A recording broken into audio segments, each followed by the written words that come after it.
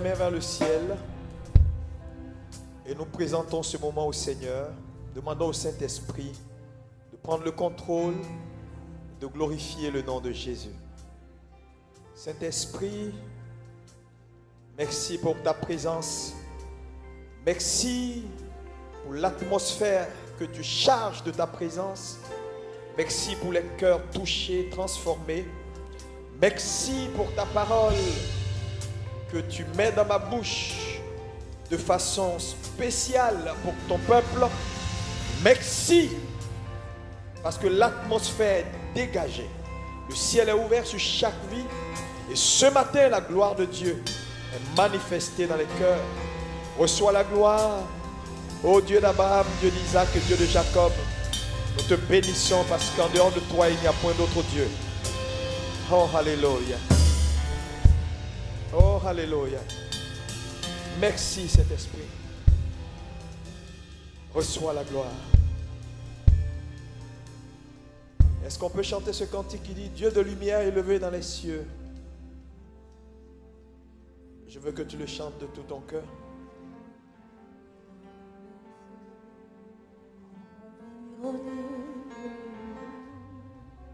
Est-ce que tu peux élever la voix et bénir le nom de Jésus? De ton cœur a su trouver nos prières.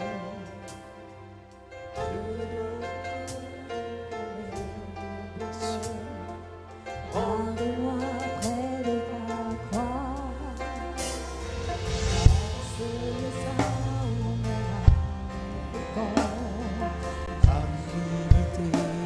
le reçois, reçois l'adoration.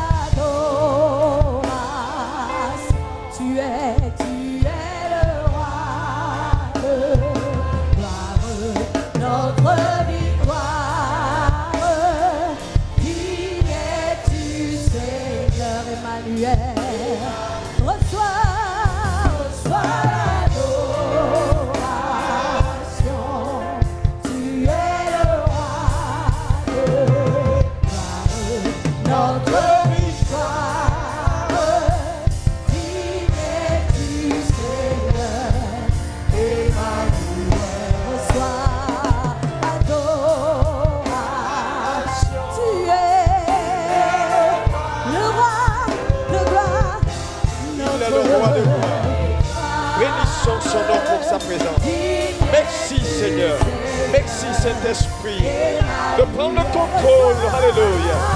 Nous te bénissons. Alléluia. Oh Dieu d'Abraham, Dieu d'Isaac, Dieu de Jacob.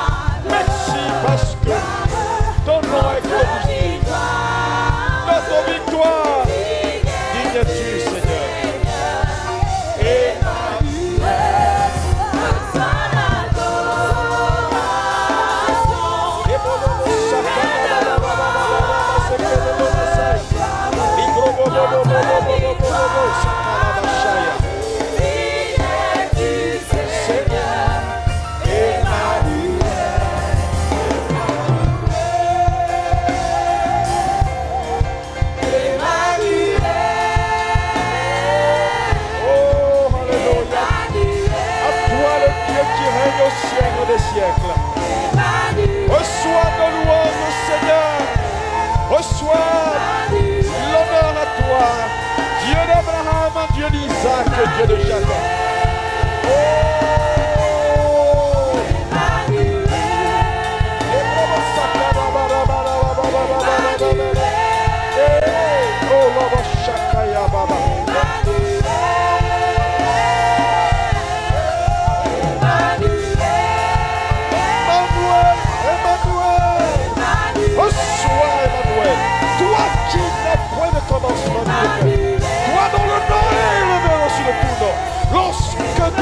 évoqué, tout genou dans les cieux, sur la terre et sous la terre.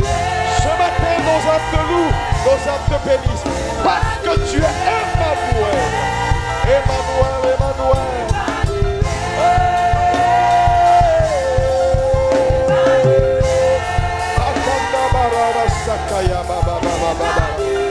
Oh, hallelujah, hallelujah, hallelujah.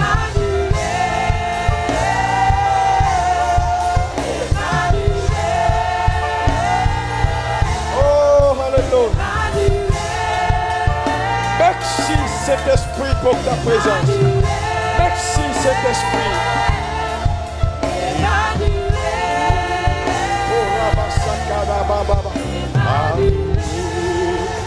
Oh, est-ce que quelqu'un peut donner de l'acclamation, oui, à Jésus Parce qu'il règne au siècle des siècles.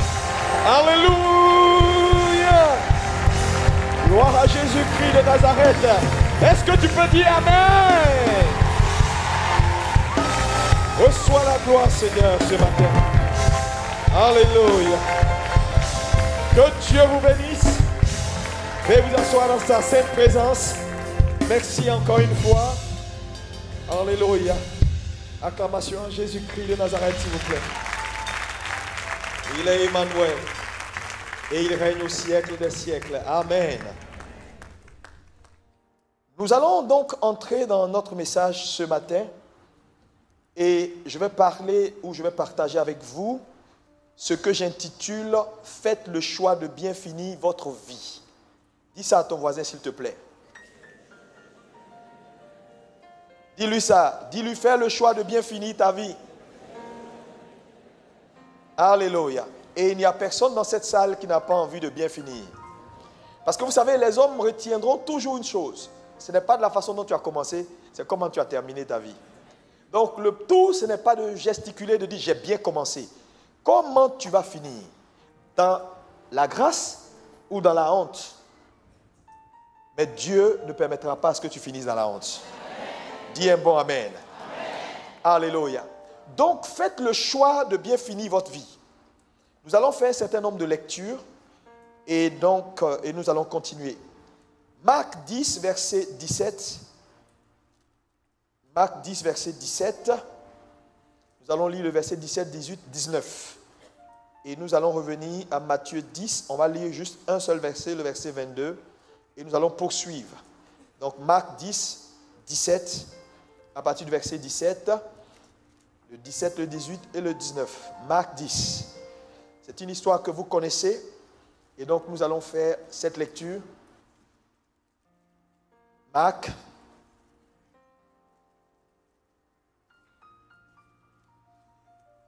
Lorsqu'ils furent dans la maison, les disciples l'interrogèrent encore là-dessus. Il leur dit, celui qui repudie sa femme, non, à partir du verset 17, s'il te plaît, va au verset 17. Merci. Comme Jésus se mettait en chemin, un homme accourut, accourut et s'étant à genoux devant lui, il est un peu, le verset, il est un peu caché ici. Bon maître, lui demanda-t-il, que dois-je faire pour hériter la vie éternelle? On continue. Jésus lui répondit, pourquoi m'appelles-tu bon? Il n'y a de bon que Dieu seul.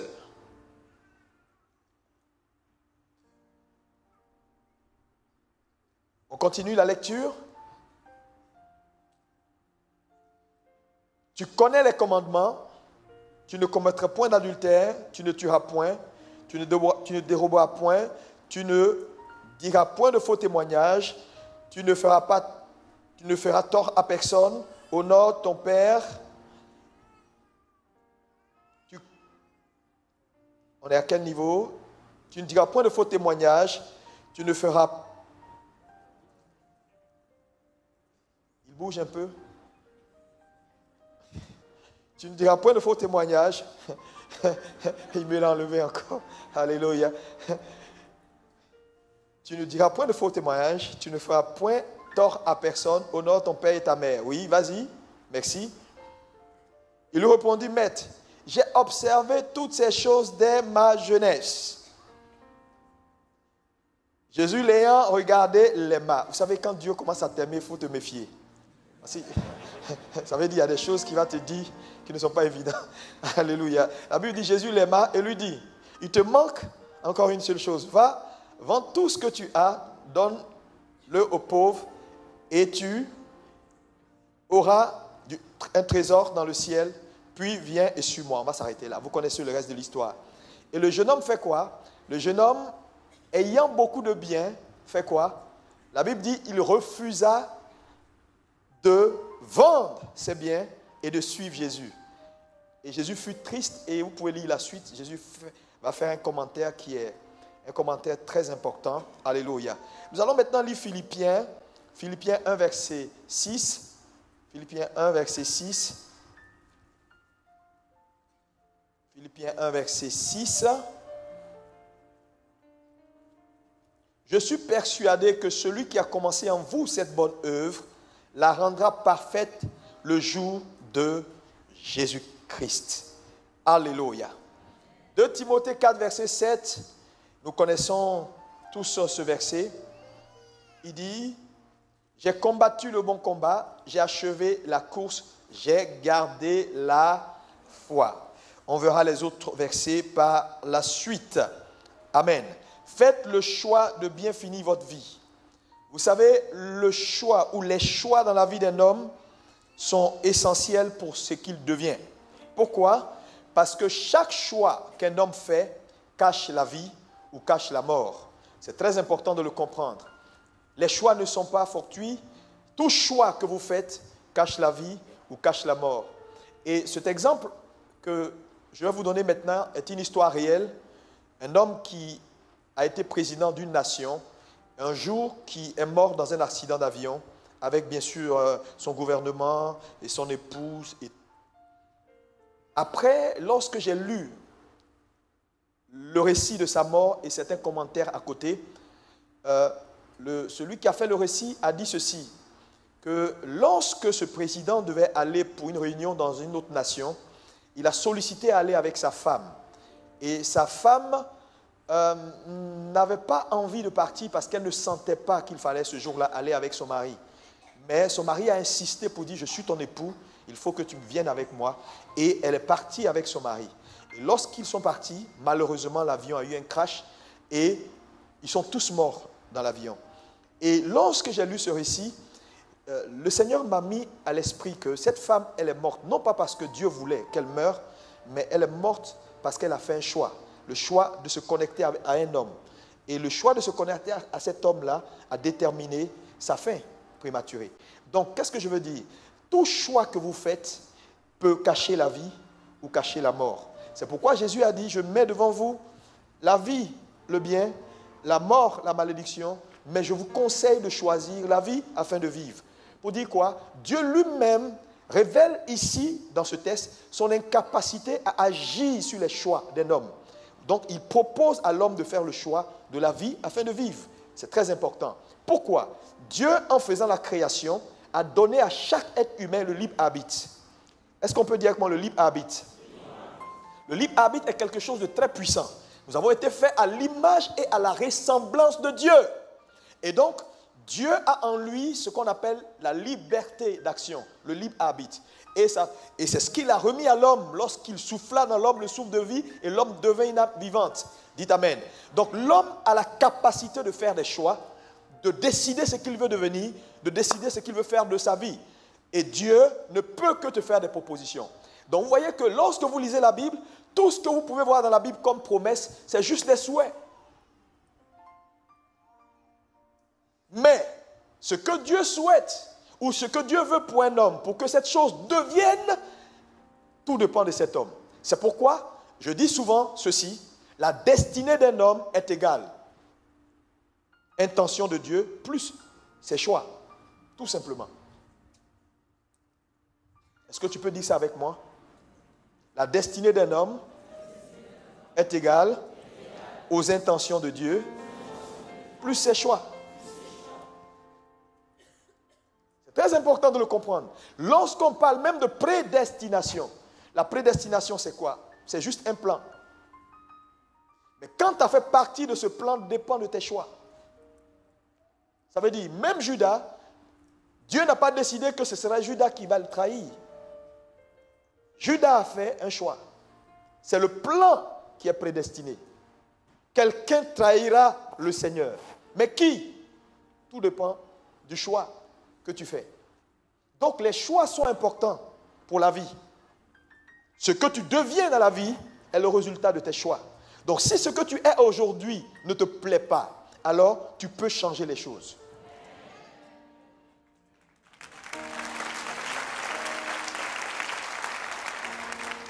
Alléluia. Et bien fini, sa vie est indispensable, Église. Les hommes retiendront comment tu finiras, pas comment tu as commencé. Ma prière ce matin, c'est que tu finisses bien. Et tu finiras bien. Dis Amen avec conviction. Alléluia. Donc nos choix sont importants, Église. Judas, comme les autres disciples, ont été exposés à la même parole du Seigneur. Mais d'où vient que lui finit mal, pendu, alors que les autres finissent bien dans la félicité? Les choix. Judas a été capable de capitaliser les informations qu'il a reçues de son vivant avec Jésus.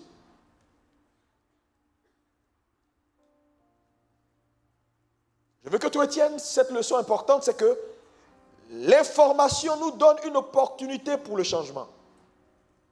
Donc la réponse qu'un homme donne à une information qu'il reçoit détermine s'il changera oui ou non. Et ce matin, je suis venu pour vous donner de l'information. Votre réponse à cette information déterminera si les choses iront bien ou pas.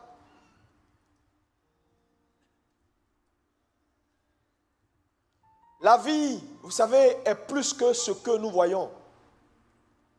Souvent, on vient à l'église, on parle, on crie au nom de Jésus, j'ai la vie, je déclare. Frère, c'est une bonne chose de faire des déclarations. Mais toutes ces choses, en réalité, c'est nos choix qui déterminent ce que nous expérimentons. Parce que regardez, dans nos églises, on confesse tous les jours. Si ta confession devait changer ta vie, mon ami, il y a longtemps, nous sommes tous des milliardaires en euros ici. Puisqu'on confesse toujours que j'ai beaucoup d'argent, je déclare, mes comptes sont remplis, je déclare, je vais bien, je déclare, ce qui est une bonne chose. Mais chaque déclaration que tu fais, c'est une bonne intention que tu as. Mais entre ce que tu désires être et ce que tu seras, le lien, ce sont tes choix.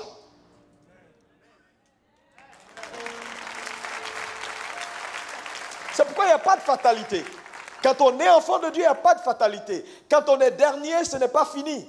Tant qu'il y a la vie, ce n'est pas fini. Tu peux encore changer les choses. Tu peux encore décider et les choses changeront avec toi. Est-ce que quelqu'un dans cette salle, peut me dire un bon Amen? Je ne sais pas où la vie t'a déposé, mais je sais une chose. Si tu décides ce matin, la vie peut participer à t'aider à voir les choses changer. Alléluia. Il n'y a pas de fatalité. Vous savez, un jour, le docteur euh, Mensa Otabil, que vous connaissez, me disait ceci. Je lui posais des questions pour lui demander, mais comment tu as fait? Parce que beaucoup de gens ne le connaissent pas. Il suffit d'aller à Accra pour savoir qui il est. Il a, il a été... Euh, désigné l'homme le plus influent de sa nation dans toute l'année 2015. Il a, il a le statut d'un chef d'État. Quand il parle, toute la nation s'arrête. Il a la première université d'Afrique de l'Ouest. Il, a une, il fait des rassemblements de 50 à 100 000 personnes assises. C'est un homme de Dieu hyper influent. Je ne vous dis pas pour le dire, c'est de la réalité. Ce n'est pas des choses qui sont pas en touche. C'est vivant, c'est réel. Et il m'a dit ceci il dit de toute sa vie, personne n'a jamais prophétisé sur lui pour lui dire, tu seras comme ça, tu seras comme ça. Et il dit à chaque fois, quand il est avec ses amis, euh, ses contemporains, les gens prophétisent des grandes prophéties sur les autres, mais lui, quand on, arrive sur lui, on dit que Dieu soit avec toi, Dieu t'aime. Il dit, mais quelles sont ces histoires de que Dieu soit avec moi, que Dieu m'aime, alors que pour les autres, on dit des trucs assez puissants. Mais il dit qu'il ne s'est jamais découragé parce qu'il a lu un jour où la Bible déclare que Dieu ne fait exception de personne. il dit ça l'a changé. Et il dit ce qu'il est devenu aujourd'hui. Ce n'est pas parce que quelqu'un a dit tu le seras. Il a décidé et il est devenu. Pour vous dire que c'est possible. Alléluia. C'est possible. Il n'y a pas de fatalité. On ne peut pas choisir de servir Dieu et finir clochard. On ne peut pas choisir de faire la volonté de Dieu et ne pas expérimenter ce que la Bible dit. Ce n'est pas possible. Si vous voyez quelqu'un qui apparemment dit qu'il sert Dieu, mais vit dans la calamité ou finit mal, c'est un tricheur. La Bible est scientifique. Parce que le Dieu que nous servons ne ment pas. Nos pères l'ont servi, on a vu leurs faits. Nos pères ont marché avec lui, on a vu leurs faits. Frères et sœurs, tu ne peux pas faire confiance en Dieu, marcher selon sa parole, faire les choix qu'il faut et mal finir. Ce n'est pas possible. C'est pourquoi ce matin, tu dois faire le bon choix et faire le choix et les choix du changement. Est-ce que tu peux me dire encore Amen, Si tu as un salaire de 1000 euros et que tu veux passer à un salaire de 10 000 ou 20 000 euros, il ne suffit pas de confesser que je veux un salaire de 10 000 euros ou de 15 000 euros en 2016. Seigneur, change mon statut. Je veux un nouveau salaire. Non, fais le choix de retourner à l'école pour augmenter ta capacité, tout simplement.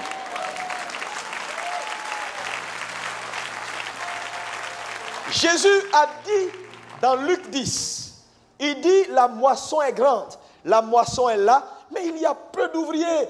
Demandons au maître d'envoyer des ouvriers à sa moisson. Mais Jésus fait le constat que la moisson est là, mais il n'y a pas assez d'ouvriers. Mais en réalité, le problème n'était pas le nombre d'ouvriers. C'est que Jésus veut dire, la moisson est prête, mais il n'y a pas assez de capacité pour porter la moisson. Donc, demander à ce qu'on envoie d'autres ouvriers, c'est augmenter la capacité afin qu'on puisse porter la moisson. Regardez aujourd'hui autour de vous, tout ce que vous voulez est là. La gloire de Dieu est là, la richesse est là, la bénédiction est là. Qu'est-ce que vous cherchez? La moisson est déjà grande. Le problème, problème de capacité. Pourquoi? Parce que les gens ne font pas les choix qu'il faut. Les gens ne font pas les choix qu'il faut. Sinon, ce n'est pas parce que Dieu ne peut pas bénir. Dieu peut bénir. Mais les gens ne font pas les choix qu'il faut. Ils viennent à l'église, ils écoutent la parole. Tout ce qu'on fait. Dans une année, il y a combien de messages Je ne sais pas. On ne peut même pas calculer. Il y a plein de messages. Ils écoutent, ils écoutent. Mais en réalité, ils ne pratiquent jamais les messages. Est-ce qu'on peut me dire un bon Amen, Il n'y a aucune ambition qui est orpheline. Tout ce que vous voulez devenir dans la vie va vous demander quelque chose. Toute ambition va imposer sur votre vie une demande. Soyez sûr. Tu veux devenir grand? Attends-toi à une demande. Tu veux réussir? Attends-toi à une demande. Donc, il ne peut pas avoir de réussite, de croissance, sans changement. Tout ce qui est grand va te nécessiter de payer un prix. Dis ça à ton voisin. Dis, voisin, prépare-toi, attache ta ceinture. Oh, qu'est-ce que tu veux devenir? Cela va imposer une demande. La vie est ainsi faite. Voilà pourquoi vous devez faire les choix, les choix qui vous aideront à achever votre course. Parce que c'est possible de le faire. Et ce matin, je voulais t'encourager à le faire. Alléluia. Le refus de changement est l'un des plus grands obstacles au succès des enfants de Dieu que nous sommes. Pierre a marché sur l'eau. Ce n'est pas parce que Dieu voulait que ce soit Pierre qui marche sur l'eau. Mais à un moment donné, lorsque Jésus venait à leur rencontre et qu'ils ont, il s'est présenté, il dit c'est moi. Tout le monde a entendu sa voix, il dit c'est moi. Mais parmi les autres disciples, ils ont dit, hum, ça ressemble à sa voix, mais on ne sait jamais. Pierre a dit, écoutez, dans la vie, on ne vit qu'une seule fois je vais décider de faire autre chose.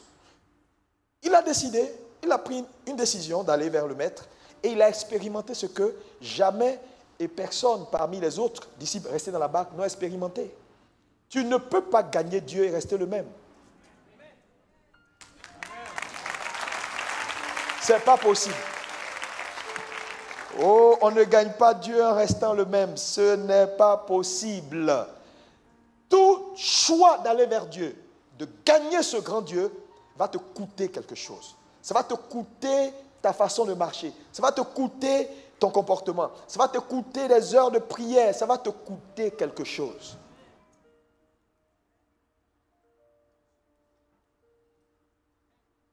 Cette leçon également, il faut la retenir. Votre réussite n'est pas la décision de Dieu, c'est votre décision. Souvent on dit, ah, si Dieu veut, ça va aller pour moi. Je vais réussir si c'est si c'est la volonté de Dieu. Il se cache derrière, si c'est la volonté de Dieu, je vais réussir. Il va de mieux ciel et terre pour m'envoyer. Dieu ne travaille pas comme ça. Il y a des choses que Dieu voulait qui ne sont jamais arrivées. Pourquoi? Parce que le relais entre Dieu et la manifestation de sa volonté, c'est toi. Même si Dieu est disposé, tu ne t'es jamais posé la question pourquoi? Dans l'histoire de Daniel, que vous connaissez, pourquoi quand Daniel a prié, Dieu dit le même jour j'ai exaucé. Mais longtemps après, il n'y a pas d'exaucement. Ce n'est pas Dieu, écoutez-moi bien, qui est allé voir Daniel pour lui dire, mais Daniel, il y a quelque chose qui se passe. C'est Daniel qui s'est rendu compte que, ah, je sais quand même un Dieu qui exauce les prières. J'ai prié, je pense que c'est fait, mais pourquoi je ne vois pas? Seigneur, qu'est-ce qui se passe? Et le Seigneur maintenant lui dit, après son interrogation, ah, moi j'ai fait ma part, mais il y a un ange des ténèbres qui a bloqué l'ange qui devait envoyer ta prière vers toi ou la réponse à ta prière vers toi. Ah bon? Donc si Daniel n'avait pas eu l'intelligence d'aller vers Dieu, Dieu serait resté silencieux. Hmm.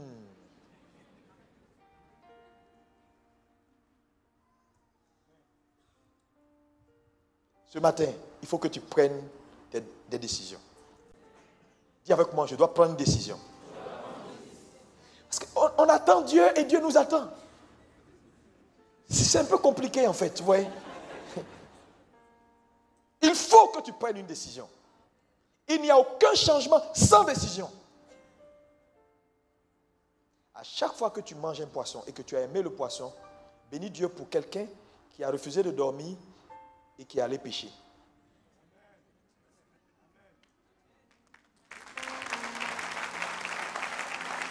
Parce que le poisson n'a pas quitté l'eau et puis il a sauté comme ça seul pour dire je cherche une assiette. Non, quelqu'un a dû prendre une décision. Alléluia. Quelqu'un a dû prendre une décision. Donc quand les choses vont bien, ça veut dire quelque part, quelqu'un a décidé que ça aille bien. Alléluia. Les choses ne marchent pas comme ça. Voilà pourquoi vous devez faire les choix qu'il faut afin que cette année 2016, ce que jamais vous n'avez vu, que Dieu puisse le manifester dans votre vie au nom de Jésus. Dis un bon Amen avec conviction, s'il te plaît. Alléluia. Alors pourquoi, malgré le fait que les choix pour le changement soient si utiles, pourquoi les hommes décident de ne pas changer? Pourquoi les hommes n'aiment pas faire les choix pour le changement? Pourquoi? Je vais vous donner un certain nombre de raisons importantes qui font que la plupart des hommes n'aiment pas aller vers le changement. Le premier, c'est que les hommes n'aiment pas aller vers le changement ou n'aiment pas faire les choix qui amènent au changement désiré à cause de la peur de perdre quelque chose. Les hommes n'aiment pas perdre quelque chose. Et dans le passage que nous avons lu tout à l'heure dans Marc 10, cet homme a refusé de perdre quelque chose. Jésus lui dit, va, vends tous tes biens, viens et suis-moi. Il regarde à l'immensité de sa fortune et il dit, non, non, je ne peux pas, c'est trop, c'est trop, c'est trop. Je vais perdre tout ça pour un homme, je préfère continuer mon chemin. Et la Bible dit Jésus fut attristé parce que cet homme ne savait pas qu'en perdant, il gagnait plus. Donc le problème de la majorité des gens, c'est qu'ils ont peur d'aller au changement parce qu'ils ne veulent pas perdre quelque chose. Mais ce que vous devez savoir qui est utile, Église, c'est que toute croissance que vous désirez va vous réclamer le changement. Tout changement que vous devez faire va entraîner des pertes. C'est systématique. Il n'y a pas de changement sans perte. Il y a des choses que Dieu va vous réclamer avant de vous donner autre chose. C'est pourquoi j'ai dit tout à l'heure, tu ne peux pas gagner Dieu et rester le même. Ce n'est pas possible. Lorsqu'on veut aller après Dieu, il faut être prêt à faire des ajustements. Le problème de la majorité des chrétiens, c'est quoi? Ils veulent rester eux-mêmes tout en gagnant Dieu. Seigneur, je te veux. Mais le petit copain, non. Il reste avec moi, Seigneur. Il reste avec moi, Seigneur. Seigneur dit, ok, lâche le petit copain, viens vers moi, je te donne le meilleur. Seigneur, qui sera là quand je serai seul? Qui va m'appeler? Quand il fait froid? Seigneur, on peut associer les deux. Dieu dit non, la combinaison là ne marche pas.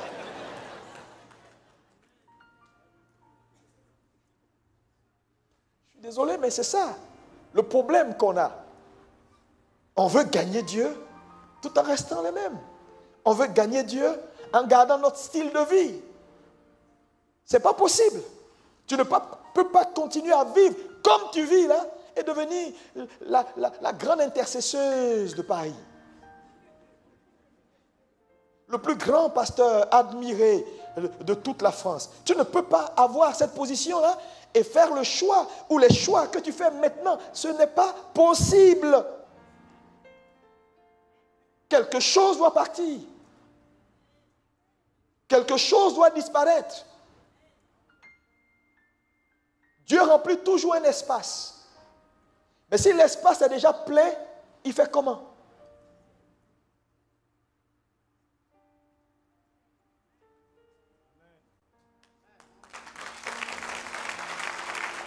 C'est très important, frère, je vous le dis.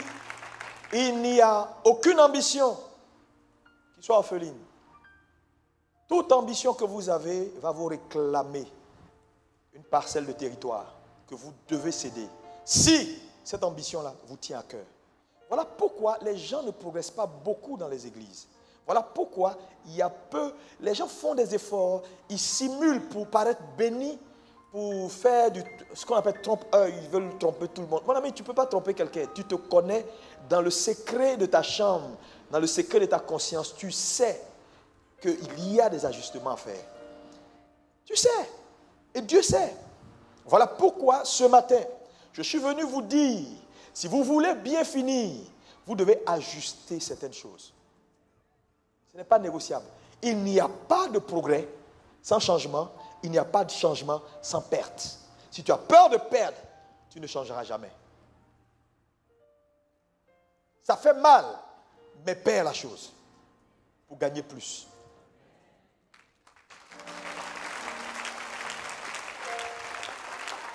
Alléluia.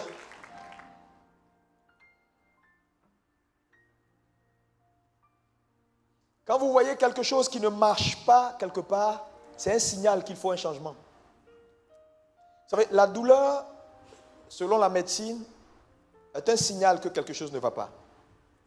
Quand on a mal, ça veut dire que quelque chose ne va pas. C'est un signal pour te dire, va à l'hôpital, va à l'hôpital, va à l'hôpital.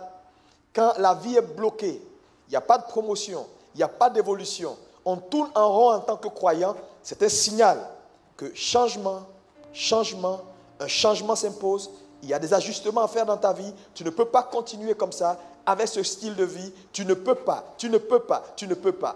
Mon ami, le fait d'être assis auprès du pasteur, ce n'est pas tout. Le fait de marcher avec le pasteur, ce n'est pas tout. Vous allez voir que très souvent, les hommes qui souffrent le plus sont ceux qui sont très proches des leaders. Pourquoi? Parce qu'ils considèrent que leur positionnement à côté du leader, naturellement, est un facteur de croissance, est un facteur de bénédiction, et naturellement, les choses doivent aller. Ça ne marche pas comme ça. Frère, tu ne peux pas être assis auprès de l'eau et puis avoir soif. C'est une malédiction.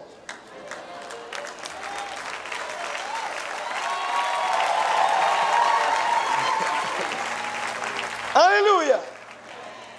Mais oui.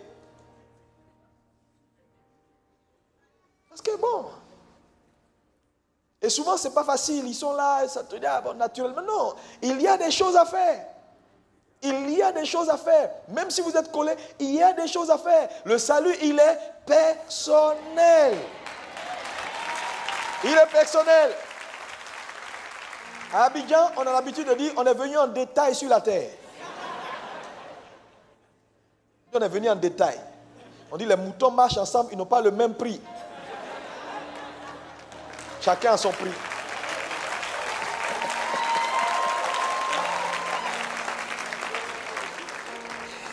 Alléluia. Si les choses sont bloquées dans ta vie, c'est un signal que tu dois changer quelque chose. Dans ton style de vie, dans tes habitudes. Il y a quelque chose à changer. Mon ami, c'est clair, c'est net. Ça va être difficile, mais tu dois faire le choix ce matin de faire bouger les choses. Et tu verras que quelque chose de nouveau va apparaître. Alléluia. Parce que les mêmes causes produisent les mêmes effets. Alléluia. Moi, chaque année, je bouscule beaucoup de choses. Vous savez, j'ai dit quelque chose à mon église, et ça, c'est personnel. Hein. Ce n'est pas imposé à personne. Chez moi, tout le monde est responsable jusqu'au 31 décembre. Dès qu'il est minuit, tout le monde est déchu d'avance. Maintenant, je reprends mon papier. Donc, il faut voir le, balai des va-et-vient quand on est au 1er janvier. Parce que chacun veut reprendre son poste. Je mets la pression sur eux et je leur. Ça dit, comme c'est écrit, je suis libre. Quand je vois que quelque chose n'a pas marché, je change, j'ajuste à tout moment. Parce que là où il n'y a pas d'ajustement, frère, il y a, nous allons vers la perfection. Donc, à chaque étape de ta marche avec Dieu, Dieu va te révéler que ce qui a été bon pour hier n'est pas bon pour aujourd'hui. Et ce qui a été bon pour aujourd'hui ne sera pas forcément bon pour demain. Je vous assure d'une chose que j'ai découverte dans ma marche avec Dieu. J'ai fait un enseignement avec les églises d'Assemblée de Dieu d'Abidjan euh, sur ça, c'est-à-dire euh, sur euh, la nécessité de, de faire croître, la croissance. Je me suis rendu compte que très souvent, les personnes qui viennent après sont de loin intelligents et performants par rapport à ceux qui étaient là avant. Souvent, on fait avec ce qu'on a. Tu commences un ministère, il y a 5, il y a 10 personnes. Mon ami, c'est ce que tu as, tu prends, n'est-ce pas? Donc tu as des gars qui se débrouillent, donc ils sont responsables, tu les positionnes. Si tu ne sais pas ajuster et n'as pas cette capacité-là de changer les choses, à un moment donné, ça devient des pôles forts même te combattre. Et au fur et à mesure que l'œuvre grandit et que d'autres personnes arrivent, les intelligences se renouvellent et Dieu envoie plus de capacités, plus d'intelligence, des gens dix mille fois plus intelligents que celui qui était là avant. Mais comment faire pour que le monsieur qui a établi son territoire, qui s'est assis, comment il faut qu'il parte? Le jeune homme est intelligent, tout le monde voit. Quand il vient à la technique, en cinq minutes, c'est fini. Le vieux, il est assis. Il dit, tu nous as trouvés ici. Le pasteur, là, j'allais chez lui quand on était cinq personnes. Pour rappeler au gars que, c'est vrai tu es intelligent, mais fais attention. Nous, on se connaît, on l'appelait comme ça, il a son petit nom. Est-ce que tu connais? Je t'ai dit. Je t'ai dit.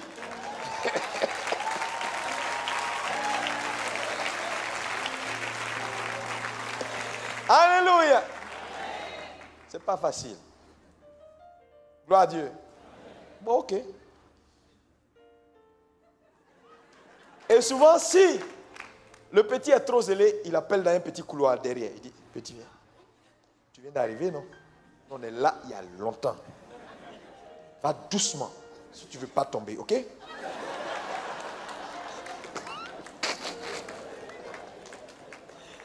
Alléluia. La peur de perdre. Et très souvent, ces personnalités n'aiment pas perdre leur champ de contrôle, leur territoire, qui sont bâtis dans l'entité. Ils ne veulent pas perdre. Et donc, souvent, les bousculer peut bousculer le système. Parce qu'ils sont assis. Donc, on est obligé de faire de la politique. On dit, bon, euh, je pense que tu seras mieux à telle responsabilité pour que tu grandisses un peu, puis tu seras le patron. Il dit, ah bon, si c'est patron, il faut les déplacer avec style.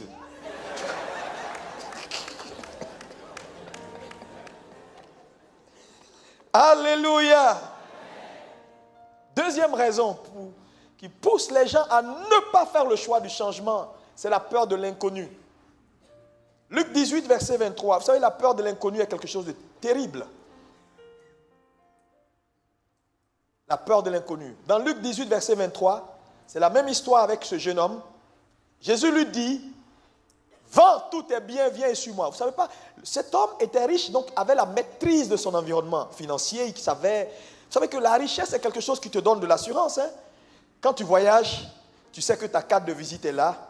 Elle est bien, bien, bien solide. Tu touches. Tu n'as pas peur parce que tu sais que partout où je vais, Je peux m'en sortir. J'ai même 3 ou 4 4. Si l'autre passe pas, l'autre passe. Donc la peur de l'inconnu. Lorsque les hommes vont vers l'inconnu, ils n'aiment pas. Donc lorsque Jésus lui a demandé d'aller et de laisser ses biens, de venir et suis-moi, il dit, mais on va aller où? Parce que n'oubliez pas que le même Jésus, le même Dieu dit à Abraham dans Genèse 12, verset 1, il dit, Abraham, quitte ta maison, quitte la maison de ton père et va dans un pays que je te montrerai. Comment tu peux me dire de quitter ma zone de confort pour aller quelque part où tu vas me montrer? Je vais où? Va quelque part je te dirai, marche seulement. Vous voyez, ce n'est pas évident, mais Abraham l'a fait. Donc, qu'est-ce que je veux vous dire ici? Il ne peut pas avoir manifestation de la foi sans tenir compte de l'inconnu. Dieu ne vous dira pas tout. Dans votre marche avec lui, il va arriver des moments où Dieu va dire, fais-moi confiance simplement, et puis on, avance. Donc tu n'auras pas la maîtrise de ton système si tu veux réellement marcher par la foi. Parce qu'en Occident, naturellement, les gens sont très méthodiques. S'il t'invite, il dit deux personnes. Si tu viens trois personnes, il y a problème. En Afrique, quand on dit deux personnes, on vient 20 personnes. Il y a à manger pour tout le monde. Mais ici, c'est différent. On t'a dit deux. Donc les gens n'aiment pas tout ce qui va au-delà de ce qu'ils ne maîtrisent pas. Et c'est la culture des Occidentaux. Nous, on, nous, nous on, est dans tout ce qui est, tu vois, non? On va, on dit, eh, on t'a même pas invité, tu dis, il n'y a pas de riz à la cuisine là. Et on sort le riz. Mais ici, tu ne peux pas venir chez quelqu'un comme ça, il n'y a pas de riz à la cuisine. Il te dira, mais on ne t'a pas invité. Parce que tout est budgétisé. Vous comprenez? Les gens maîtrisent leurs dépenses, maîtrisent. Les gens n'aiment pas tout ce qui est inconnu. Mais ce que je veux vous dire ce matin, c'est que la marche par la foi va nécessiter que tu fasses confiance en Dieu. Donc il y a des éléments que tu ne vas pas forcément maîtriser avec Dieu. Si tu veux tout maîtriser, tu ne marcheras pas par la foi. Il dit à Abraham, va. Abraham est parti sans savoir où il allait. Ça, c'est l'inconnu. Parce que lorsqu'on veut faire le choix du changement, alors il faut être prêt pour affronter l'inconnu. Oh, L'inconnu fait peur. J'ai fait un séminaire une fois, il n'y a pas longtemps, avec ma communauté. C'était un séminaire qui nous a pris beaucoup de temps sur comment vivre les yeux fermés. Et il y a quelqu'un qui m'a dit, mais pasteur, le thème, il est, est intéressant, mais comment on peut vivre les yeux fermés? J'ai dit, tu comprendras avec le séminaire. Parce que lorsqu'on dit comment vivre les yeux fermés, vous devez comprendre que l'ennemi numéro un de la foi, c'est la vue. Parce que la foi te dit où tu vas, la vue te dit où tu es.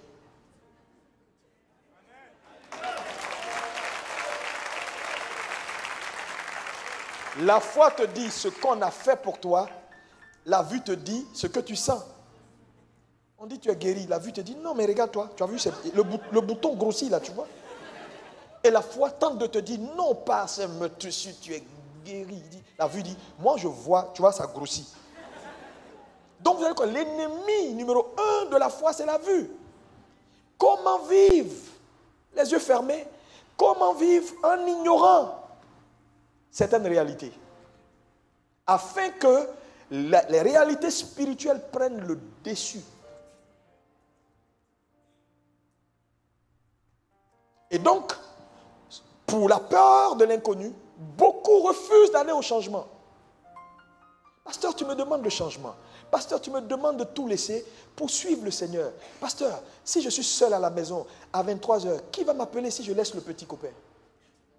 Pasteur, qui va m'aider à Paris? Qui va payer mes, mes, mes courses? Pasteur, qui va le faire? Là, c'est de l'inconnu.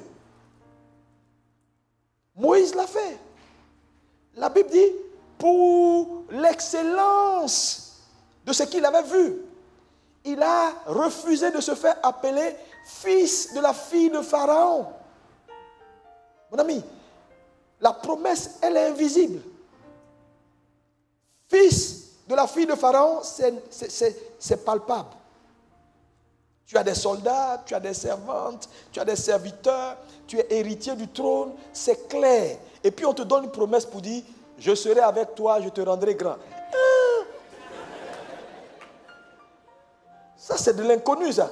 Si je laisse tout ça, cette parole-là, vous êtes sûr que ça va s'accomplir? Voilà la peur de l'inconnu, en fait.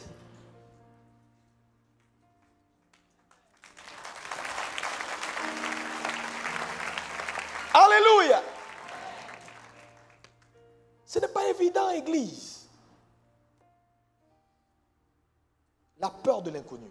Abraham a accepté d'aller, sans savoir où il allait, pour gagner Dieu. Il va falloir que tu fasses le pas de la foi. Dis Amen. C'est peut-être difficile. Il n'y a pas de changement sans perte. Tu perdras quelque chose. Tu vas perdre ta zone de confort. Tu ne vas plus maîtriser les choses comme on le maîtrise. Mais il faut le faire. Et vous savez, c'est l'une des raisons pour lesquelles la plupart des gens ne se sacrifient pas jusqu'à un certain niveau. Même dans le sacrifice. Regardez par exemple, Dieu parle à quelqu'un pour lui dire, pour le projet que nous avons, va, vide ton compte, mets dans le projet. La semaine qui suit, je te donne trois fois ce qu'il te faut. Parce que ce que tu as, si ça ne peut pas accomplir le but que tu recherches, alors ça doit être ta semence. Dieu dit, fais-le. Tu dis, non Seigneur, si je fais, il n'y aura rien. Et les factures viennent, je gère comment? Donc tu commences à réfléchir parce que tu entres dans une zone où tu n'as plus de contrôle sur quoi que ce soit. Donc le changement ou le choix de faire le changement devient difficile. Pourquoi? Parce que je considère, mon fils doit aller à l'école dans six mois, il y a ça à payer, il y a ça à payer. Seigneur, je fais comment? La peur de l'inconnu. Troisième raison qui empêche les gens à aller vers le changement systématique, désiré par Dieu pour leur vie, ce sont les traditions humaines. Dis avec moi les traditions humaines. Dans Acte 11, verset 7 à 10, Acte 11, verset 7 à 10, ce texte est très parlant. Et j'ai entendu une voix qui me disait, lève-toi Pierre, tue et mange. Mais je dis, mon Seigneur, car jamais rien de souillé ni d'impur n'est rentré dans ma bouche. Et pour la seconde fois, la voix se fit entendre du ciel. Ce que Dieu a déclaré pur, ne la regarde pas comme souillé. Il continue. Cela arriva jusqu'à la troisième fois, puis tout fut retiré dans le ciel.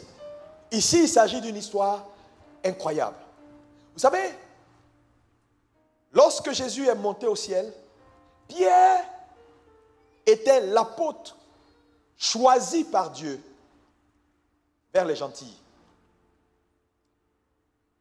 Et donc, Dieu lui donne une vision, et dans la vision, il voit des animaux impurs. Et Dieu lui dit, tue et mange. Il dit quoi? Dans la tradition juive, on ne touche pas à ce qui est impur. Dieu lui dit, tue et mange. Il dit, non, non, non, non, non, moi je ne peux pas toucher, c'est impur, c'est notre tradition. La troisième fois, la voix se retire, la voix repart au ciel. Et pour avoir refusé l'appel du Seigneur, pour avoir refusé d'aller au changement à cause de sa tradition, Dieu fait quoi? Dieu substitue Pierre en allant chercher un inconverti, Paul, sur la route de Damas.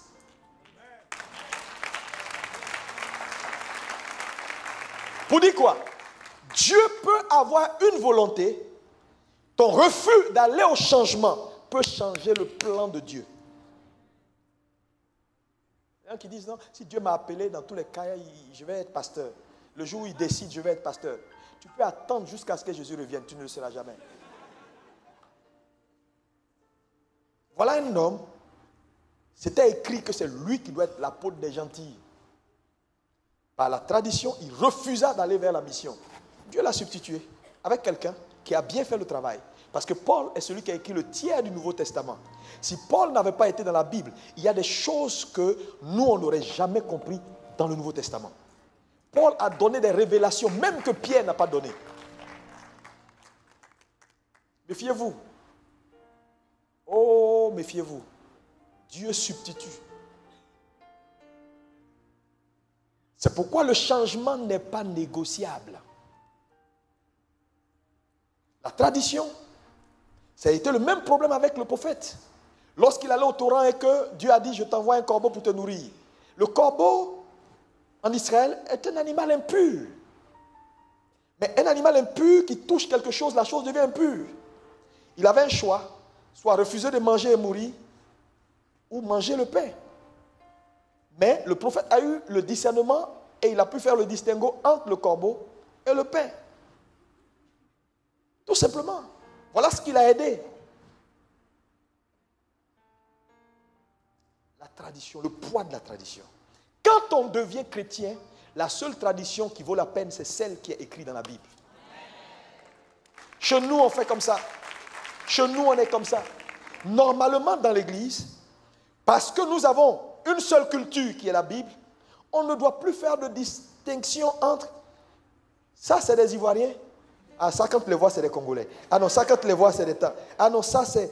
Pourquoi? Parce que les gens se convertissent, mais refusent de laisser leur tradition humaine et ils envoient cette tradition-là dans l'église de telle sorte que tout ce qu'ils font dans l'église est conditionné par la tradition dans laquelle ils ont été élevés, ils ont grandi.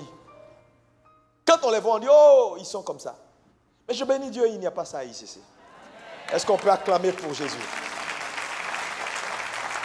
Nous sommes tous pareils. Alléluia. Le poids de la tradition peut être un obstacle au changement. Ah non, chez nous, on ne marie pas, on ne marie pas d'étrangers. On marie les gens de notre culture. C'est ce qu'on nous a dit. Ça peut être un problème. Alléluia. Donc le poids de la tradition. Quatrième élément également important ici, qui peut être un obstacle ou qui empêche souvent les gens d'aller au changement désiré par Dieu pour leur vie, c'est ce que j'appelle l'incapacité de porter plus de douleur. Est-ce qu'on peut dire avec moi incapacité de porter plus de douleur? Ici, il faut comprendre ce que je suis en train de dire.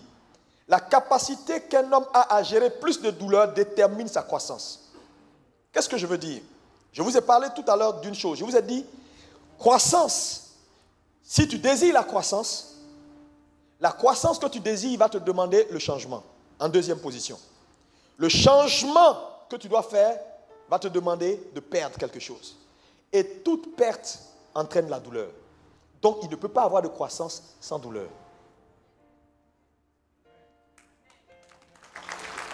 Donc, plus de possibilités tu as à tenir et à supporter la douleur détermine si tu dois avoir ou tu auras plus de responsabilités. Un exemple. Tu es pasteur d'une église de, disons, allons avec Jésus. Jésus était pasteur d'une église de 12 personnes. N'est-ce pas? Dans les 12 personnes, il y avait un Judas. Pourcentage, 0,4%. 0,8% en termes de pourcentage. Je fais juste des arrondis. Dès que tu as une église de 50 personnes, si on va avec le principe de base, Jésus, 12 disciples, 0,8%. Si un homme a des disciples à une église de 50 personnes, ça lui, ça lui fait à peu près 4 Judas. Si tu passes à une église de 100 personnes, ça te fait à peu près 8 Judas. Tu passes à une église de 1000 personnes, ça te fait à peu près combien? 80 Judas. Tu passes à une église de 10 000 personnes, ça te fait à peu près 800 Judas. Donc quand vous voyez quelqu'un qui a une église de 10 000 personnes, ne dites pas seulement waouh, il a une grande église, mais il porte aussi beaucoup de Judas.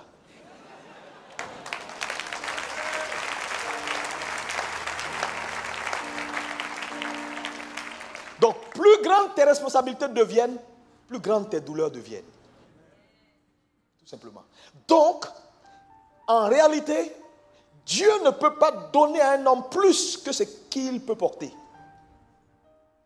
Oh Seigneur, je veux être grand pasteur. Est-ce que tu peux supporter la douleur qui accompagne grand pasteur? Tout le monde ne peut pas être pasteur principal d'ICC. Non, sérieux. Sérieux. Tout le monde ne peut pas. Tout le monde ne peut pas.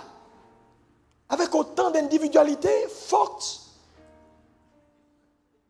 Où les gens, non, non, non, non. Ah non, non. Ah non, oui, oui, oui. Chacun a son opinion de sa vie, de ce qu'il veut faire. Tenir une telle église, maintenir une telle église des années durant sur les rails, sans scandale, sans problème, mon ami, si Dieu ne t'a pas qualifié, tu ne peux pas.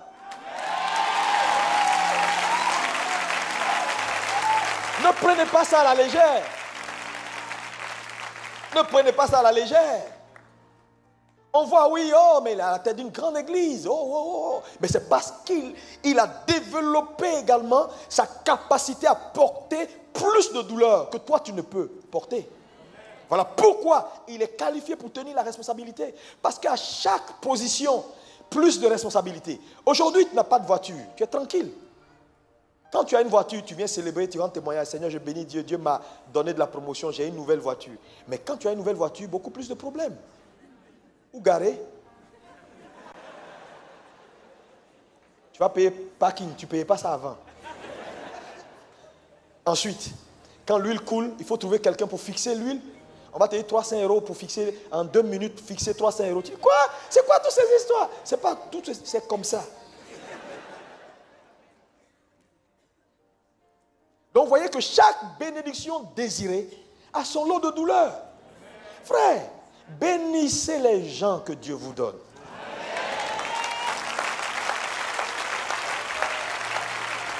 Aidez-les, chérissez-les, facilitez-leur la tâche. Ce n'est pas facile. Ce n'est pas facile. Ce n'est pas facile. Bénissez. Je bénis Dieu pour le pasteur, pasteur Modestine, pasteur Habi. Vraiment que Dieu vous bénisse. Tous les, les mamans pasteurs de cette église, que Dieu vous bénisse.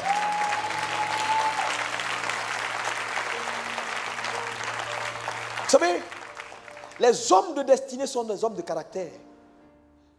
Chaque fois quand je voyage, ou bien souvent quand je suis quelque chose, j'aime faire, j'aime rendre ma femme heureuse. Parce que tu ne peux pas être l'épouse d'Alexandre Amazou comme ça. Tu payes. Non, je ne suis pas facile. Non, pour gérer ce que je gère là, je ne dois pas être facile. Je ne suis pas un homme facile. Donc souvent je ai dit, comment tu fais même?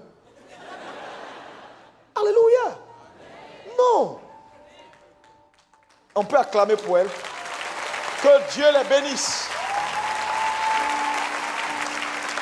Alléluia. La responsabilité engage la douleur. La douleur est à tous les paliers de la vie. Quand on lit Ésaïe, vous allez voir tout à l'heure, lisons Ésaïe rapidement.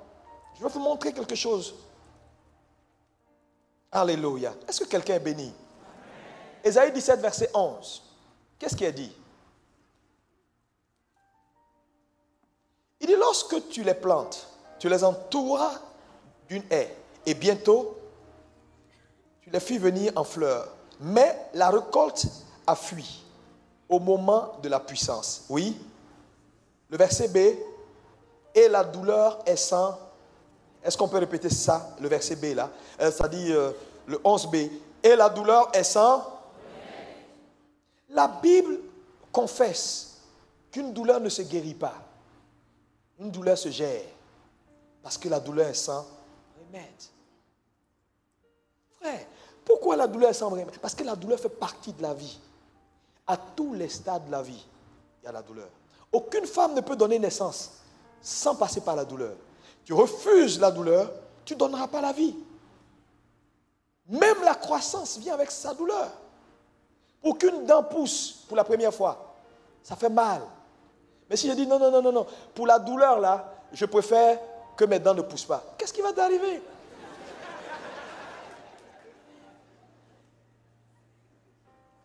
La douleur fait partie de la vie? À tous les stages de la vie, il y a la douleur. Voilà pourquoi la Bible dit la douleur est sans remède. Donc la douleur, si elle est sans remède, ça veut dire qu'elle se gère. La façon dont tu gères ta douleur détermine si tu sortiras par le haut ou si tu sortiras par le bas. Le problème, c'est que beaucoup de gens ont laissé leur douleur être leur maître. Et quand la douleur devient ton maître, tu deviens pitoyable, amer, aigri, vilain. Parce que la douleur déforme ton visage. Voilà pourquoi Jésus a toujours dit pardonner. Pardonner. Pourquoi? Au début, je ne comprenais pas. J'ai dit, mais Seigneur, pourquoi on doit pardonner? Il dit pardonner parce que je, je te dis, la personne que tu retiens, tu finis toujours par lui ressembler. Te dis la vérité. Si tu es fâché contre quelqu'un, tu vas reproduire exactement ce qu'on t'a fait. Si tu ne libères pas la personne. Ah, mon père m'a fait ça. Je suis fâché contre mon père. Je ne parle pas avec ma mère. Il y a des gens ici, tu ne parles pas avec ton père, tu ne parles pas avec ta mère. C'est une erreur grave. Quel que soit ce qu'ils t'ont fait. Si tu veux, garde. Tu vas reproduire exactement ce qu'ils t'ont fait. Et puis, et ton jugement sera double. Pourquoi il faut pardonner? Libérer les gens. Dieu ne vous a pas donné un cœur pour en faire des prisons. Ton petit cœur est rempli de prisons. 10 000 prisons dans un petit cœur. Comment Dieu peut te bénir? Dis à ton voisin, ouvre les prisons de ton cœur, libère les gens. Tu n'es pas un géolier. Allez, libère les gens. Laisse les gens aller vers leur destinée et toi, va vers ta destinée. Est-ce qu'on peut me dire Amen? Alléluia. Quelles que soient les douleurs, ta capacité à porter la douleur détermine si tu seras haut ou en bas. Les petits hommes n'ont pas de profondeur. Les grands hommes sont profonds. Ils supportent. Ils supportent. Ils supportent. Le problème, c'est un problème de capacité. Quelle est ta capacité? La moisson est là. Mais il n'y a pas d'ouvrier, il n'y a pas de capacité pour porter la moisson. Appelez plus d'ouvriers pour augmenter la capacité à porter la moisson. L'huile coule. La dame va voir le prophète. Hey, on veut prendre mes enfants pour les envoyer en esclavage parce que j'ai des, crédits. Le prophète va emprunter les vases. Emprunte beaucoup de vases. Elle met les vases, elle remplit, elle remplit. À un moment donné, il n'y a plus de vases. Et l'huile fait quoi? L'huile s'arrête. Mais pourquoi l'huile s'arrête? Parce que l'huile coule là où il y a la capacité. Là où il y a de l'espace. Le problème de Dieu, ce n'est pas parce qu'il ne veut pas bénir ICC, pas parce qu'il ne veut pas bénir les frères. Le vrai problème des chrétiens, ils ne font pas d'espace à Dieu. Comment on fait de l'espace à Dieu? C'est lorsqu'on permet à nos choix, de façon délibérée, de créer de l'espace dans notre vie pour que Dieu nous augmente et que Dieu nous envoie à notre destinée. Voilà le problème. Les gens sont remplis dans les églises, mais c'est de la religion. Ils simulent.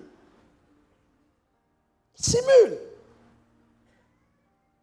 Ils ne sont pas bénis, on a l'impression que c'est l'église qui n'est pas efficace, c'est les pasteurs qui n'ont plus d'onction. Non, les pasteurs, sont, ils sont tous loin.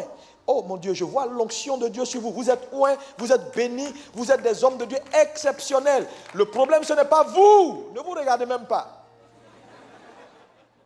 Dans tous les cas, votre huile va s'arrêter si là où la capacité doit être n'est pas.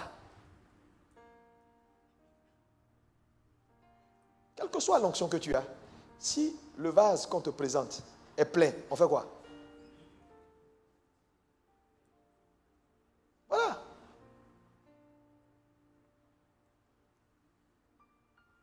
Avec moi la douleur. Elle se gère. Elle a tous les stages de la vie, tout développement. Si tu refuses la douleur de l'apprentissage, tu connaîtras la douleur de l'ignorance et du rejet. On y va étudier. Ok. Je veux devenir le PDG de ma société. À UDF, je vais être le patron. Mais on ne devient pas le patron à UDF comme ça. On étudie, on fait des diplômes. Mais étudier à son lot de douleurs.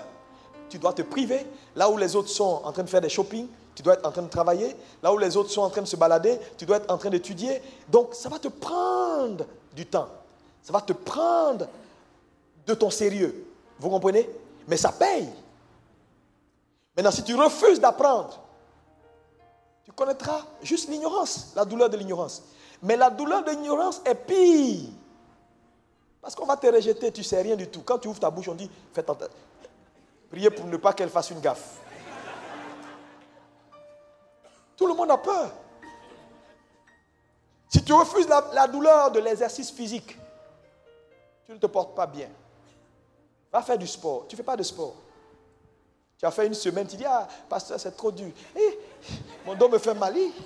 On dit, un, deux, un, deux, un, deux. Ah, je vais mourir, je vais mourir, je vais mourir. Tu ne vas pas mourir. Pour qu'il y ait la santé, il faut la douleur. Si tu refuses la douleur de l'exercice physique, tu souffriras la douleur de la faiblesse du corps et de la maladie. Tu es un pasteur. Regardez, on ne fait que prêcher. On peut faire des heures arrêtées. Si tu ne fais pas de sport, tu vas faire comment? À un moment donné, tu prêches quand tu dis, il n'y a pas de chaise. À ton âge, tu sais chaise pour prêcher. Mon ami, fais attention.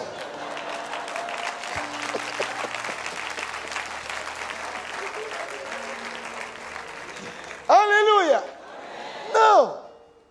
Alors que des vieux, il y a des vieux prédicateurs. Vous savez, en Afrique, on n'a pas beaucoup de vieux prédicateurs. Mais observez l'image de l'Afrique. Des vieux prédicateurs, il n'y en a pas beaucoup. Je prie que Dieu te donne la sagesse. Que tu comprennes que la douleur est inévitable. Mais il faut savoir la gérer pour gagner avec elle. Amen. Si tu refuses la douleur de la consécration, parce que se consacrer n'est pas chose facile. Tu es cadre à UDF, tu as 25 000 euros par mois, tu as une belle maison à Man-la-Vallée, tu as une poche Cayenne coupée, tu es, tu es tranquille. Et tous les samedis, les week-ends, tu dois lire ta Bible, alors que les autres sont quelque part à Pigalle. C'est pas évident. Ça fait mal. Mais il faut accepter de payer ce prix. Tu ne peux pas aller n'importe où. Vous savez, je vais vous dire, la vie chrétienne, c'est un choix. Hein?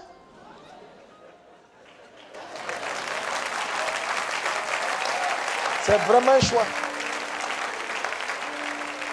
C'est un vrai choix. C'est un vrai choix. Tout le monde te dit, oh, tu es belle, oh formidable, tu es belle. Et puis on te dit ça, ça ne va pas quelque part. Parce que tu ne peux rien faire avec. C'est de la douleur. Tu es lié. Les autres là, elles peuvent faire quelque chose avec, tu es belle là. Toi, tu ne peux rien faire avec. On te dit seulement, tu dis, ok, ok, que Dieu vous bénisse, je suis belle. Alléluia. Tu vas aller où avec ça? Eh, Tu es belle de quelqu'un. Tu vas aller où? Tu, tu es lié. Tu peux rien faire. Tu es chrétienne. Mais ça, c'est ça la douleur. Voilà la vraie douleur qu'il faut supporter pour gagner, alléluia, dans la vie. Parce que si tu refuses cette douleur-là, qu'est-ce qui se passe? Tu vas souffrir la douleur de la faiblesse spirituelle et du rejet et de la perdition éternelle. Mais cette douleur, elle est la plus grave. Elle est plus grave. Jeune dame, tu as de l'avenir. Tu vas à l'école, fais tes cours, ne fais pas forcément comme tout le monde. Celles qui font ce qu'elles veulent, que Dieu les bénisse. Mais je dis, il y a toujours un prix à payer pour les ambitions qu'on veut atteindre dans la vie. Qu'est-ce que tu veux devenir? Qu'est-ce que tu veux devenir? Qu'est-ce que tu veux devenir? Grand pasteur, grande femme de pasteur Oh, il y a un prix. Oh, il y a un prix. La douleur poursuit trois objectifs majeurs que je te donne. Quand tu lis Hébreu 12, tu les verras. Mais également, on peut les voir dans 2 Corinthiens 12, verset 7, verset 2 Corinthiens 12, 7 à 10, lorsque Paul parlait de l'échade qu'il avait dans sa chair. C'était une douleur pour lui. Dieu lui a dit simplement, ma grâce te suffit. 2 Corinthiens 12, 7 à 10, vous pouvez lire ça à la maison. Trois objectifs. Le premier, c'est que la douleur t'équilibre. Dis avec moi, la douleur équilibre. Tout ce qui marche est équilibré. Est-ce qu'on peut dire ensemble, tout ce qui marche est équilibré? Et tout ce qui est équilibré a deux pôles. Pôle plus, pôle moins. Vous ne verrez pas quelque chose qui a de l'équilibre qui n'a pas de deux pôles. Vous voyez la lumière en haut là? Pour qu'il y ait lumière, il faut pôle plus, pôle moins. Si les techniciens entrent et enlèvent des DPN, tout ce qui est pôle moins, et on laisse plus, plus, plus, plus, plus sans les moins, toutes les lumières dans cette salle vont s'éteindre. Pourquoi? Parce qu'il n'y a pas de lumière sans pôle négatif. La vie d'un homme n'est pas éclairée si tout est plus.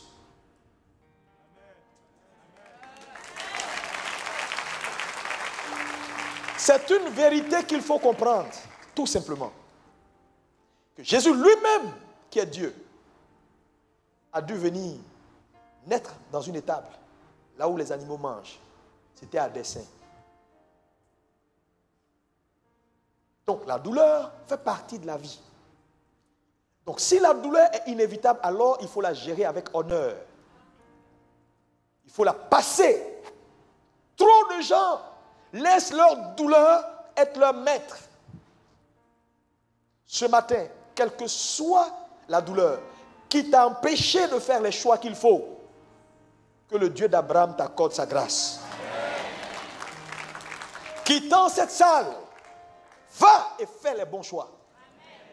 Les choix qui vont te rapprocher de ta destinée et te faire gagner dans la vie. Deuxième but, c'est que la douleur te rapproche de Dieu. C'est-à-dire, toute véritable douleur est destinée à vous rapprocher de Dieu et non pas à vous éloigner de Dieu. Malheureusement, lorsqu'elle est mal gérée, on s'éloigne de Dieu. Parce qu'il y a beaucoup de gens, quand ils passent par des situations difficiles, quittent l'église. On dit, ma soeur, tu es où? On ne te voit plus. Ah, c'est compliqué, c'est compliqué, je vis des situations difficiles, je ne peux pas comprendre. Donnez-moi du temps. Euh, j'ai pris un peu de congé avec le Seigneur pour le temps de réfléchir. On ne se trouve pas en dehors de Dieu. Chaque situation de difficulté doit nous rapprocher de Dieu si on sait gérer cette situation. Malheureusement, comme souvent nos douleurs deviennent nos maîtres, elles nous conduisent vers les choix qui ne sont pas les bonnes. Et au lieu d'être plus proche de Dieu, on va plus loin de lui. Je prie, si tu étais allé loin, que Dieu te ramène.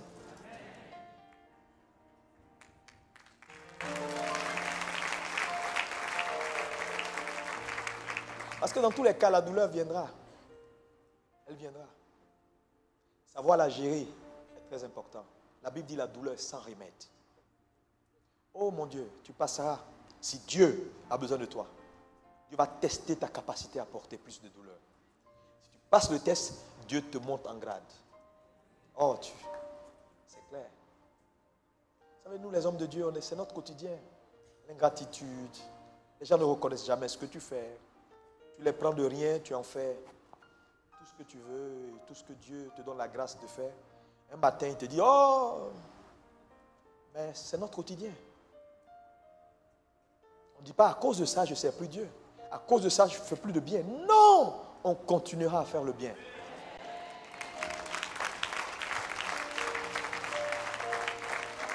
Elle te fait grandir, la douleur.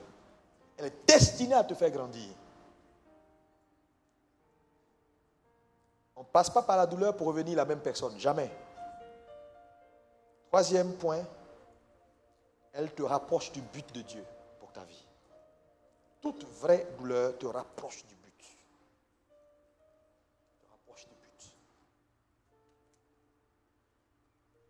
Alléluia. Est-ce que quelqu'un peut me dire un bon Amen? Le changement viendra. Que tu le veuilles ou non, le changement viendra. Donc à toi de t'ajuster pour que ta vie également soit dans la mouvance du changement. Parce que tu sais, tu peux être sûr avec moi que demain ne sera pas comme aujourd'hui. Ou bien, demain ne sera pas comme aujourd'hui. Donc dans tous les cas de figure, demain sera différent. Le problème, c'est que souvent, on a l'impression que oh, demain sera la même. Oh, demain sera... Non, demain sera différent. Dieu veut que tu ajustes quelque chose. Parce qu'à chaque fois qu'il y a stagnation, à chaque fois que les choses sont bloquées, c'est une alerte qu'il faut ajuster sa vie. Il faut ajuster quelque chose. Il faut ajuster. Parce qu'il n'y a pas de progrès sans prix à payer. Tout vrai changement commence à l'intérieur pour se matérialiser à l'extérieur. Voilà pourquoi on vous donne l'information. Si vous acceptez l'information, alors le changement commence là et elle se voit dans votre quotidien, dans votre quotidien et dans votre quotidien se matérialise. Pierre a décidé d'aller vers Jésus. C'est une décision d'abord qui est personnelle. Donc avant de faire le pas d'aller sur les eaux, il a d'abord décidé. Donc le changement était d'abord personnel avant de voir sa matérialisation physique. Ah, il marche sur les eaux. Mais c'est d'abord une décision. Et donc tu dois prendre cette décision. Qu'est-ce que Dieu veut enlever de ta vie pour envoyer ce que tu désires? Tu dois prendre la décision maintenant. Malgré la douleur, je laisse tomber ça. Ce type-là doit partir. Parce que tant qu'il ne va pas, tu ne verras pas celui qui doit être. Le vrai. Il y a des choses qu'on tient dans la main, en réalité, qui cachent notre bénédiction, qui étouffent la vraie bénédiction. Je vous assure, Dieu est bon. Dieu est bon. Dieu est bon.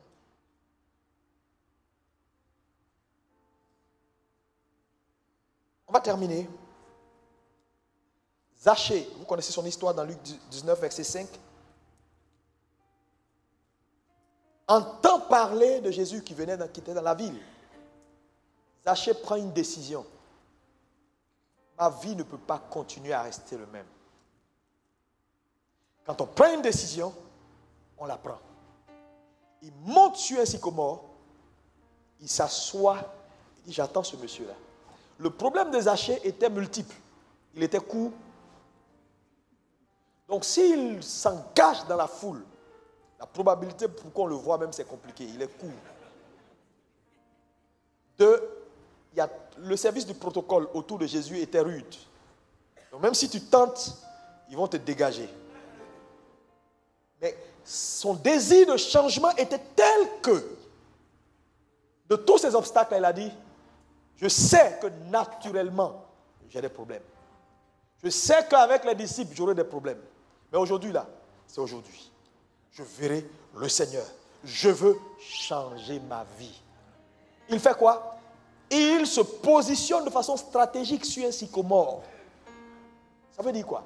Quand on vise réellement le changement et que nous voulons voir Dieu changer notre vie, il n'y a plus rien qui compte.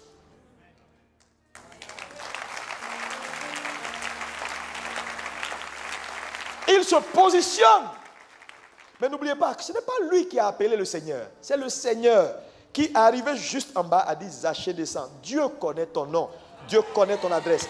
La seule chose que Dieu attend de toi, c'est que tu prennes les décisions qu'il faut et tu feras la gloire de Dieu. Dieu va te localiser et ta vie va changer.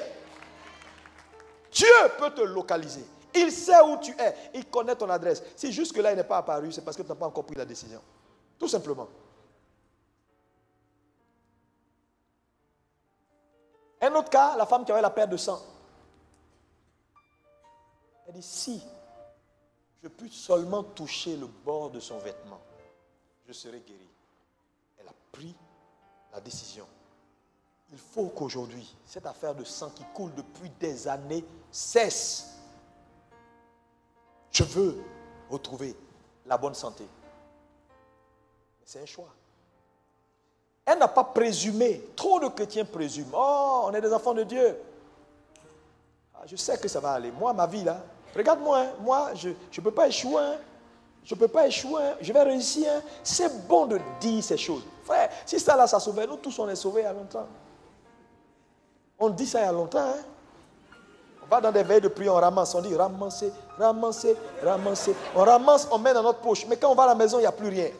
On revient encore dit dimanche, on dit ramasser, ramasser, ramasser.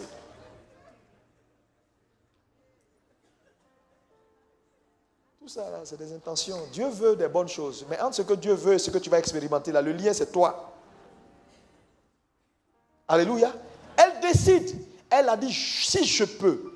Elle a présumé. Elle dit, oh, c'est possible. Mais elle aurait pu mourir dans le sang, là.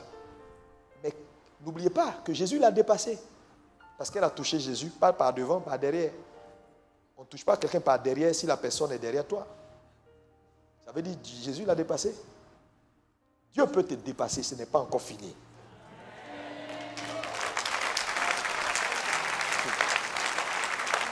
Tout dépend de toi.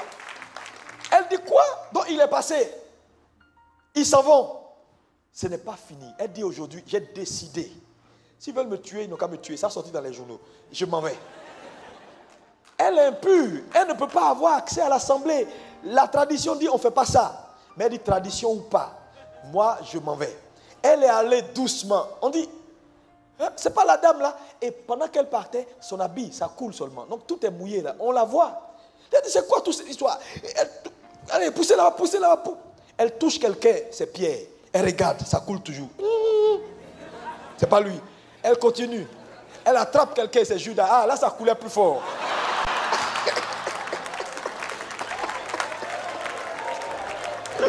Ça accélérait même le sang.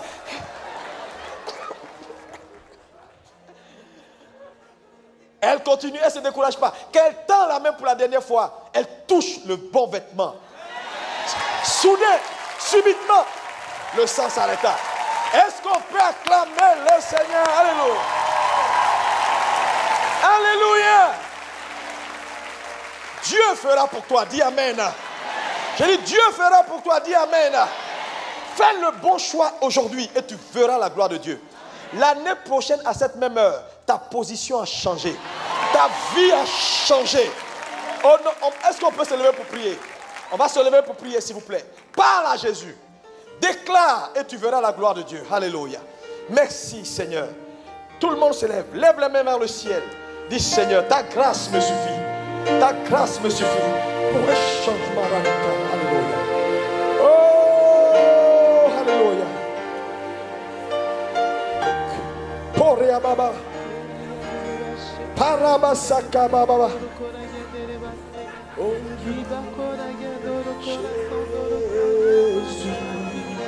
qu'un autre nom. Porabasakaba. Hakanda Baba.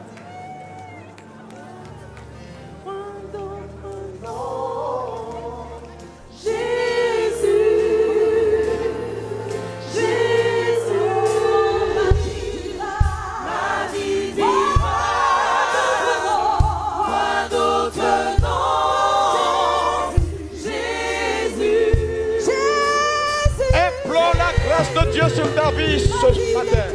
Dis Seigneur, ma vie ne peut plus être la même. Ma vie ne peut plus être la même. Au nom puissant de Jésus. Oh,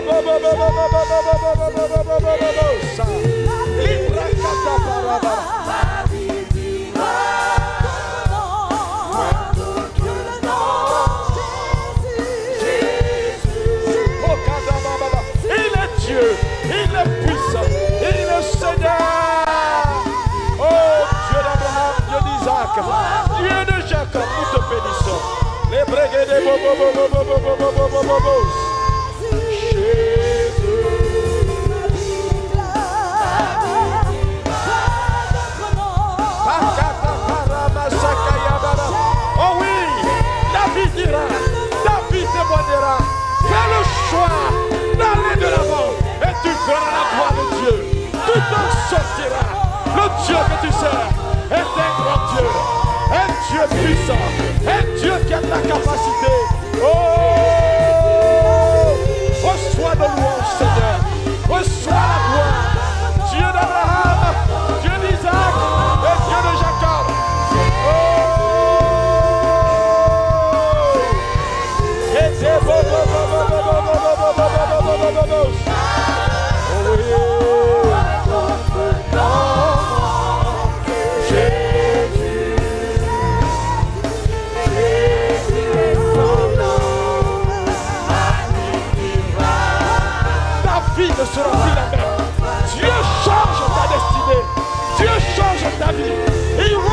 de ta vie. Au nom puissant de Jésus.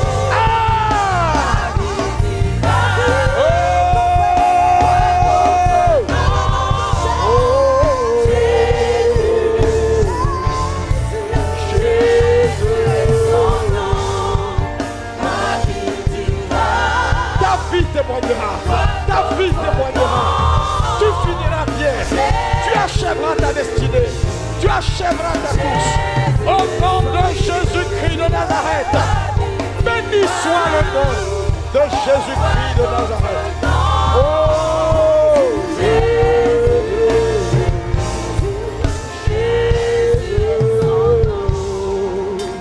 Seigneur, nous te bénissons. Nous t'exaltons, Seigneur. Parce que ta volonté, c'est de voir ton peuple accompli sur cette terre de vivants. Tu l'as destiné. Devenir ce que tu veux que nous soyons puissants pour toi, riches pour toi. Oh Dieu d'Abraham, Dieu d'Isaac et Dieu de Jacob. Aide chacun.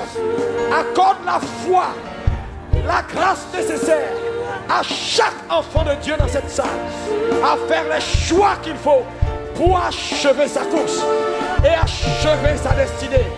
Personne ne finira mal. Personne ne finira mal. Personne ne tombera. Oh Dieu, reçois nos louanges.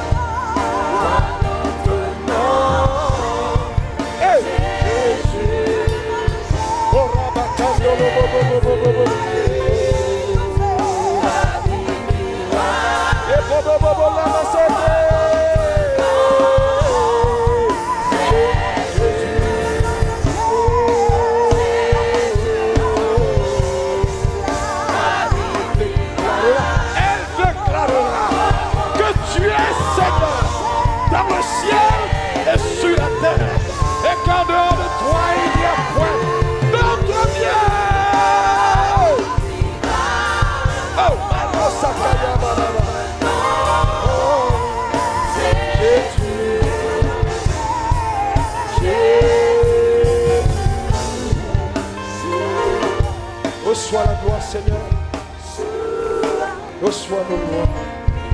Merci pour ta parole. Merci pour nos cœurs. Oh, Alléluia. Est-ce que quelqu'un peut acclamer pour Jésus? Est-ce qu'on peut acclamer plus fort que ça, s'il vous plaît? Il est Dieu et il règne au siècle des siècles. Alléluia. Reçois nos louanges. Reçois nos louanges, Seigneur. En dehors de toi, il n'y a point d'autre Dieu. Tu es le seul vrai Dieu. Oh, qualifie-nous, Seigneur. Merci, Seigneur. Alléluia. Alléluia. Est-ce qu'on peut acclamer le Seigneur? Que Dieu vous bénisse. Que Dieu vous bénisse.